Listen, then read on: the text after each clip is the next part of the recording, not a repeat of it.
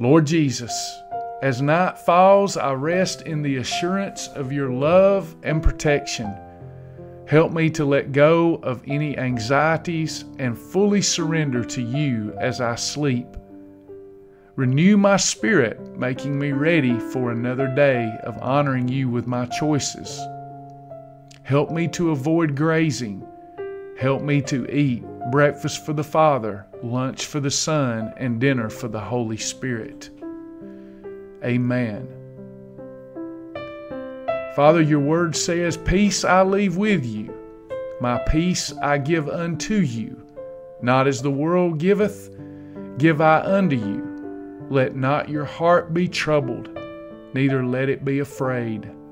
The Gospel of John, chapter 14, verse 27.